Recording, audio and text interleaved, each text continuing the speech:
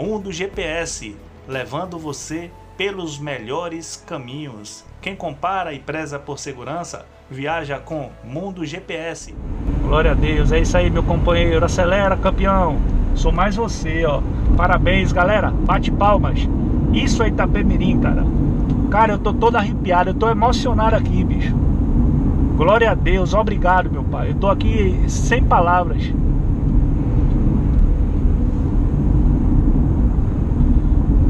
Falo isso, galera, é de coração, viu?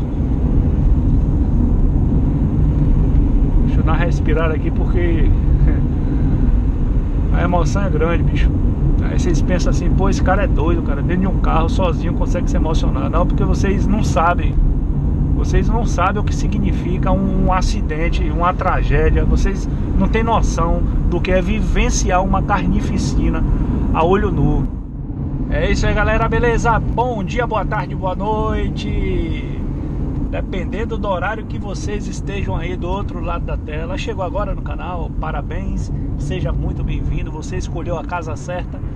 Aqui compartilhamos tudo de bom referente à questão da vida, principalmente com os assuntos rodoviários, musologia, que é a ciência dos ônibus, direção defensiva, rotas.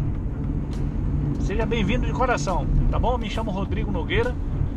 Se não é inscrito, inscreva-se, ative o sino para acompanhar os vídeos semanais. Na descrição desse conteúdo tem os links das minhas redes sociais: Instagram, Facebook, particular, né? E também a página do Facebook. A proposta do vídeo é compartilhar esse cenário. Não vou nem abordar muito a direção defensiva, mas aqui se preza pela realidade. Estamos na BR-101 extremo sul do estado da Bahia. Já saímos de Camacan, estamos sentido a Buerarema, em seguida Itabona. Não tem como não falar de direção defensiva. Segue aí para vocês ultrapassagem na dupla faixa contínua, ação totalmente perigosa, de grande potencial de risco, portanto, não sigam esse exemplo, bom? À nossa frente temos o lendário Marco Polo G6 da Aviação de Transporte de Passageiro Itapemirim, amarelinha de aço. É isso aí. Vídeo motivacional. Hashtag Força Itapemirim. Itapemirim que ultimamente vem cortando uma fase aí meio que atribulada aí, né? Na questão financeira. Alguns regressos aí. Mas Deus está no comando porque dentro da Itapemirim existem vários profissionais qualificados, principalmente os condutores que estão diariamente transportando o bem mais caro, que é a vida. E a gente vai seguindo o fluxo aí, acompanhando esse cenário maravilhoso, cenário totalmente brasileiro. Olhando para cima temos o azul, temos as nuvens brancas, a vegetação verde, temos a faixa divisora de fluxo amarelo e também o ônibus da Itapemirim amarelo, ou seja, todas as cores da nossa bandeira está contida aí nesse cenário. Pode fazer um print, está literalmente autorizado, tá? Temos ali o condutor da Itapemirim. Não deu para observar, mas ele estava sinalizando para a esquerda, porque a lanterna está um pouco fosca. Geralmente quando acontece essa comunicação é, informando que não é o momento de você fazer ultrapassagem. Então, quando o cara está tentando dar início a uma ultrapassagem, que eu achei pouco provável considerando que o local não era apropriado. Então, acredito que ele estava informando que não era o momento para fazer ultrapassagem. Tá bom? Essa comunicação aí com os veículos da retaguarda. E vamos nessa. Só na descompressão do motor segurando tranquilo, poupando o sistema de freio, discos, pastilhas, lonas, todo o sistema hidráulico. E esse é o macete. Tá no trecho de declive, utiliza o freio quando realmente for necessário. Vocês que estão aí com os grandões, tá? A logística, aqueles que possuem freio motor, tá utilizando no sentido de colaborar com o sistema de frenagem, e eu que estou de automóvel, simplesmente deixo em uma marcha de explosão, largo o acelerador e deixo o veículo utilizar a descompressão do motor seguindo em uma velocidade contínua, ou seja, não está me oferecendo potencial de risco. Mas quando você desce engrenado, que o carro está embalando, aí sim é necessário você utilizar o freio. Isso é o vídeo, galera. Isso aí é o cenário. Isso é Rotas do Nordeste. O assunto vem surgindo, não tem planejamento nenhum. É tá gravando e já foi, tá piscando, tá gravando. E a gente vai seguir no fluxo. Temos aí o profissional com seta para esquerda. Creio que no momento oportuno ele irá fazer a ultrapassagem. Vamos lembrar que ultrapassagem tem que ser no momento de certeza, tá galera? Considerando que grande parte das ocorrências indesejáveis na rodovia acontecem por conta da imprudência humana. Muita gente coloca a culpa na estrada. Sei que não temos um asfalto top, P das galáxias, pegada Europa, mas devemos nos adaptar a essa triste realidade, entender que a nossa vida é a nossa prioridade. Portanto, dirija com segurança, faça o bem sem olhar a quem, seja paciente na estrada para não ser paciente no hospital. Valeu! Quero mandar um abraço para meu amigo. É isso aí, é o Ailson do canal Papo de Estrada, canal show de bola, viu? É o locutor rodoviário. Porque o cara tem uma voz da hora, galera. Ele narra os assuntos também muito legal, tá bom? É um cara que eu tenho certeza que vai te ajudar.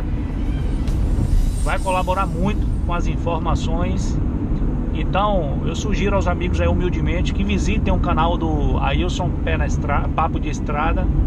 Vou deixar o link do canal dele na descrição desse vídeo. Ele é muito meu amigo e será o seu companheiro de estrada aí, eu tenho certeza. Chega lá no canal dele, comenta lá, hashtag Rotas Nordeste, que ele vai entender a nossa comunicação recíproca. Valeu?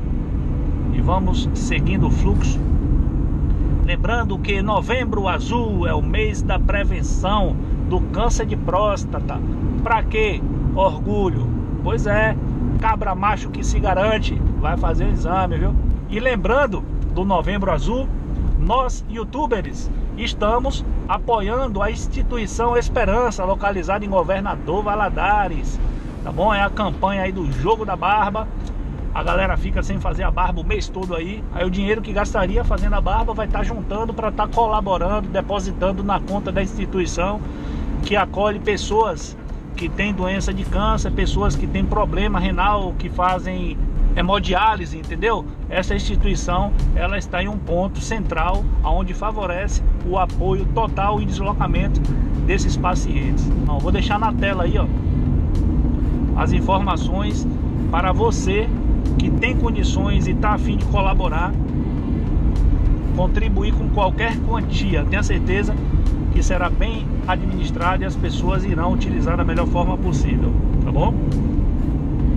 No final da campanha, as informações de extrato será exposto aqui para vocês também terem ciência de tudo que está acontecendo. Lembrando que não só eu estou apoiando, bem como vários caminhoneiros, youtubers a nível Brasil que também foram selecionados para estar apoiando, ajudando no sentido de agregar mais e mais solidariedade entre nós, tá bom, galera? E a gente vai seguindo o fluxo. Vamos nessa!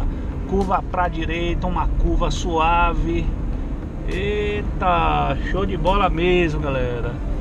Esse é o mundo rodoviário. Olha que verde fenomenal. Chega a lágrima ver nos olhos, porque é realmente muito emocionante, pessoal. Aí eu fico pensando, o que é que passa na cabeça dessa galera que tá aí dentro do ônibus, hein? Muita gente aí com saudade do povo que deixou em casa muitos viajando por momentos felizes, né? Tá de férias, juntou a grana, tá aí com a família curtindo, parando nos pontos de apoio, na humildade ali, fazendo um lanchinho e tal. Outros também se viraram nos 30 para conseguir a grana da passagem. Malmente tem condição para fazer um lanche, tá aí muitas das vezes até com fome. E do contrário, outros que estão muito felizes, tá? Às vezes não tem nem saudade de ninguém, mas quer pelo menos estar a bordo de um ônibus para relembrar os bons, os bons momentos já vividos na vida. E aqueles que também estão viajando para resolver problemas. Isso aí se chama busologia, é o mundo rodoviário, é a ciência que estuda os ônibus. Cada ônibus é uma cápsula do tempo e temos aqui mais uma ultrapassagem totalmente desnecessária, tá? Então não siga esse péssimo exemplo de imprudência.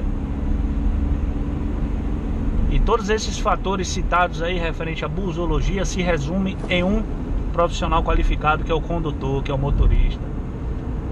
Suponhamos que tem aí 40 pessoas no veículo. Pois é, abaixo de Deus são 40 pessoas na mão, nas mãos, melhor dizendo, de um condutor. Isso prova a importância desses guerreiros. Muita gente vê o cara ali fardado, ah, é apenas um motorista. Muito pelo contrário. É uma profissão que desenvolve um papel hiper, hiper, hiper fundamental para a sociedade. Tá? Atividade de grande utilidade pública, porque se não fosse esses guerreiros aí, tenha certeza que a malha rodoviária não seria o que é. Utilizada por grande fluxo das pessoas que não têm veículo, ou então aqueles que têm veículo, mas não quer viajar de carro, também não quer viajar de avião, aí escolhe o ônibus para o seu deslocamento.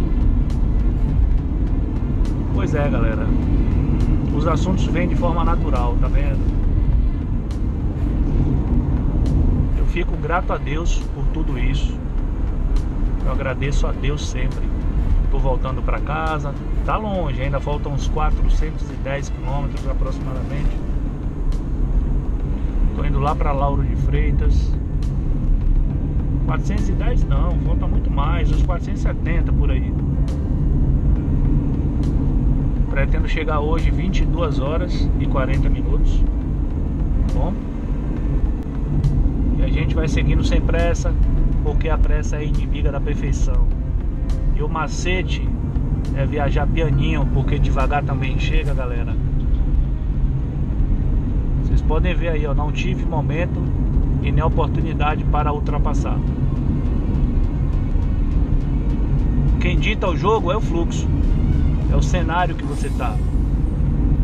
Então, não faça nada aleatoriamente, não faça nada nas pressas, porque vai dar BO. E o BO é grande. Então vou finalizar o vídeo por aqui. Quero mandar um forte abraço para todos os trabalhadores da aviação Itapemirim, tá bom? Eu sou fã de coração da Itapemirim, independente da dificuldade que atualmente ela passa, tá? Independente do que aconteceu ao longo do tempo por conta da falta de uma boa administração Devemos lembrar que a nomenclatura Itapemirim, que esse amarelo ouro, que esse amarelo que corta as rodovias, não tem nada a ver com o regresso. Trata-se de uma instituição que idealizou o processo evolutivo da busologia no nosso país. Empresa que teve a façanha de criar o seu próprio chassis logo no início empresa que tem um histórico, um marco importante para a nossa nação. Eu lembro com boas recordações dos momentos vividos a bordo da Itapemirim, tá bom? É isso aí, galera. Vou aproveitar essa oportunidade aqui, já que ele não quer ir. Seta para esquerda, seta para direita. Oportunidade plausível, vocês viram. Ultrapassagem correta, sem forçação de barra. Agora sim estou aqui finalizando o vídeo com esse cenário Itapemirim. Valeu, galera. Estou muito feliz. Glória a Deus. É isso aí, meu companheiro. Acelera, campeão. Sou mais você, ó. Parabéns, galera. Bate palmas. Isso é Itapemirim, cara. Cara, eu tô todo arrepiado, eu tô emocionado aqui, bicho. Glória a Deus, obrigado, meu pai. Eu tô aqui sem palavras.